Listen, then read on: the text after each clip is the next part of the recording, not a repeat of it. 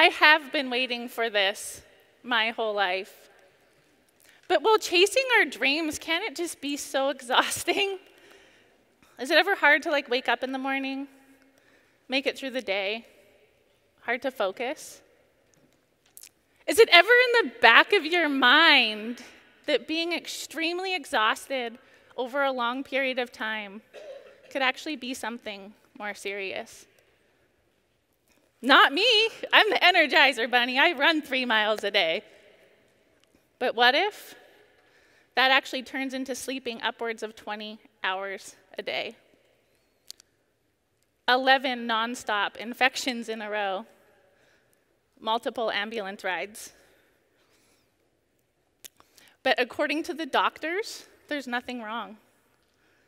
So you wait until the fever gets so bad and the chills, they get so unbearable. So this time, you're in another ambulance ride, but you have 105 fever, sepsis, low oxygen, with heart attack, watch blood pressure. And you're in the hospital for weeks until they show you what's in the midsection of your body.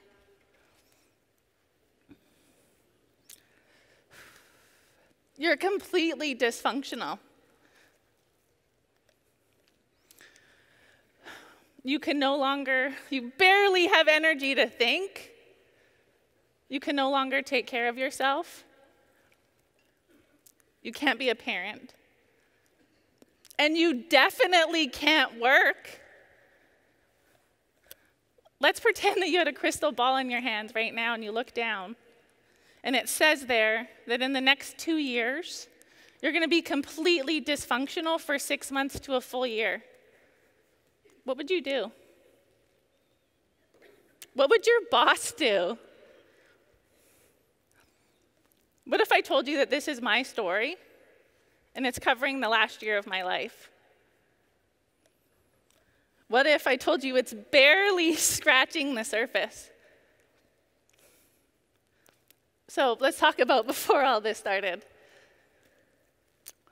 When I grew up, my mother, she was a single parent, and we lived in a one bedroom basement suite in, in an elementary school. And my brother and I, we slept on cots in the living room. When I grew up, I wanted to not have to worry about money and live on the beach somewhere and give my family things that I couldn't have when I was growing up. When I saw this opportunity, I craved that six figure income, but I was terrible. It took me five weeks of full time work to write one app. My first 10 people I scheduled on the phone, there was zero home when I showed up. The next 15, they all wanted to think about it. I hated it. I remember um, I was on at the airport coming to my first conference, and I almost didn't even get on the airplane. And I told myself, look, this is going to be a horror story or a success story, but I don't know which one yet. But that first month after my uh, after conference was my second month here, and I wrote $58,000 of business that month.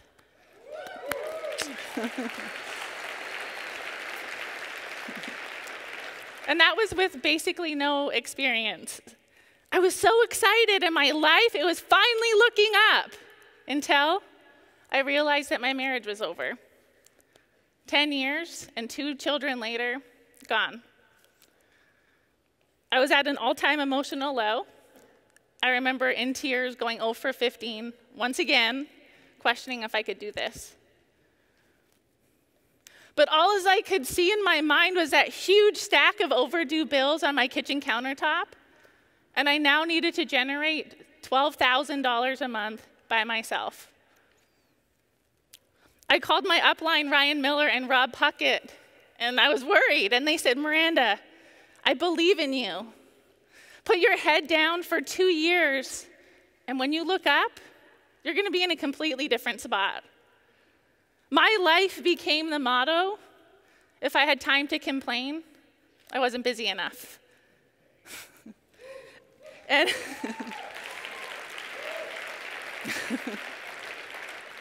in that very first year, I went from being terrible to the number one female in the company with $425,000 of business.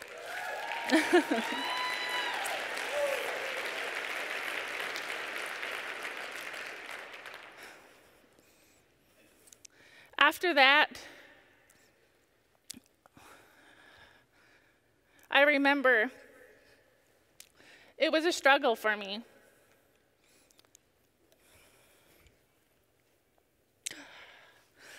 It was very difficult.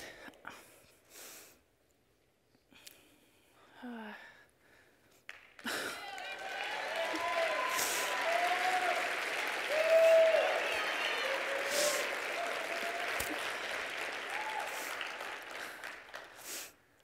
I remember after that year,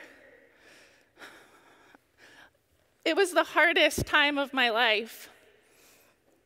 I, one of the secrets that I tried to hide from everybody during this time was that I was okay. And I knew deep down that I had something going on with myself. I was tired, and it was hard for me to make it through the day. And I remember, I don't know if I can go through with it.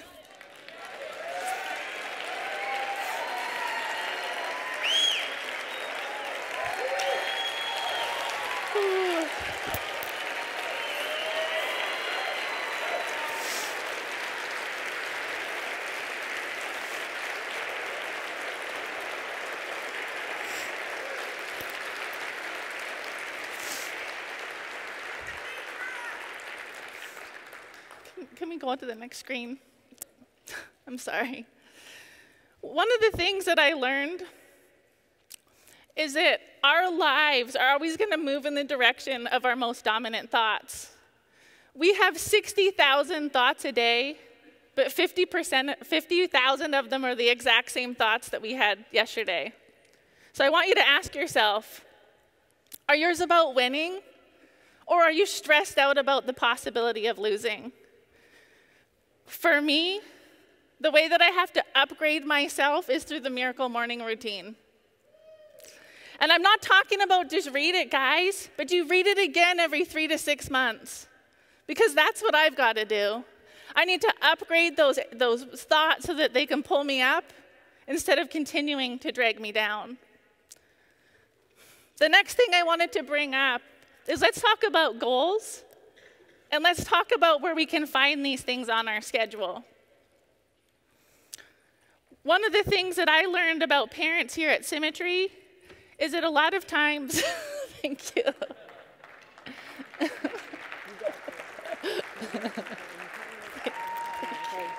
okay. If it's not, what I learned is a lot of times parents are going to use their family excuses as a reason for them to not get their appointments. But for me, as a single parent, it was the exact reason for me to get my appointments. And I learned that if it's not in our schedule, we can't consider it a real commitment. I remember I called my mom when I was in my second month here, and I said, Mom, I haven't had a day off in two years, or sorry, two months. And she said, Miranda, I remember when I didn't have a day off in three years. So I went to work like her.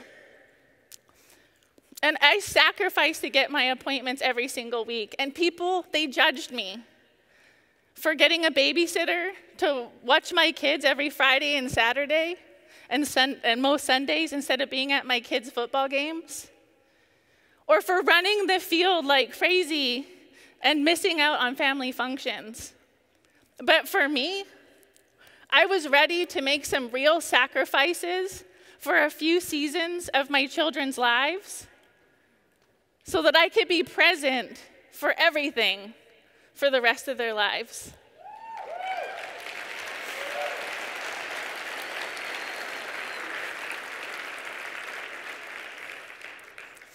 And I remember my upline told me, Miranda, that your life would be different in two years, and for me it was. In the two year mark, I had built my agency big enough to get out of the field. And I now had the time to be the mom that I always wanted to be. I'm basically an overpaid house mom. and I actually remember that year, my little one, um, he was struggling in kindergarten.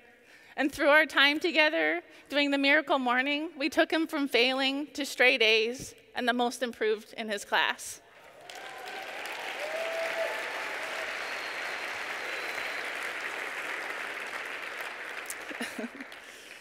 I have my kids one week on, and the next week you can find me operating my business from my cell phone on a boat, on the beach, or next to a pool.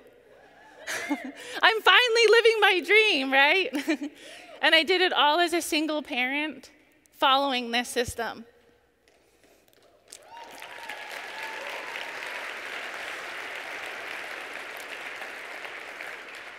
Just shy of my three year anniversary, I rallied my awesome team and I said, guys, we're ready. We're ready to make a run to that next contract level, the top contract level. And a secret that I tried to hide from everyone my illness was dropping me to my knees. I had three ambulance rides just that month. John Ziller, he knew I wasn't okay. And with no gain to him, he worked with members of my team to make sure that we still hit our numbers. And we did. Thank you.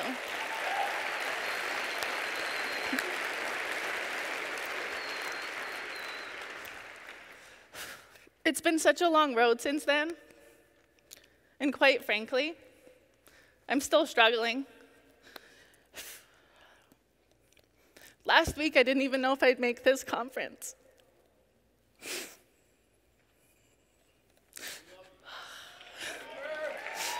Uh, being in my mid 30s with having a home care nurse, that was never part of my dream. the first time that I could take my kids out of the house in six months was just a couple weeks ago. I took them to this awesome resort and they were so happy.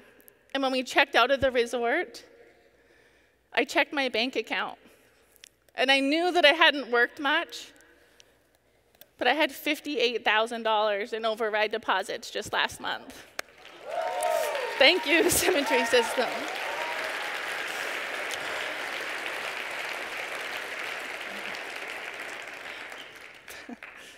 the hardest part of my health journey so far was my last hospital stay. They tried to put an IV, an IV needle in my vein, but nothing would come in and nothing would go out. And I was going on three days with no food or water. And I remember thinking, is this it? My life flashed before my eyes. But I knew that in my, because of my last three and a half years of really hard work, nonstop, that if I were to die right this minute, my little ones would have over half a million dollars every year in override deposits in my legacy.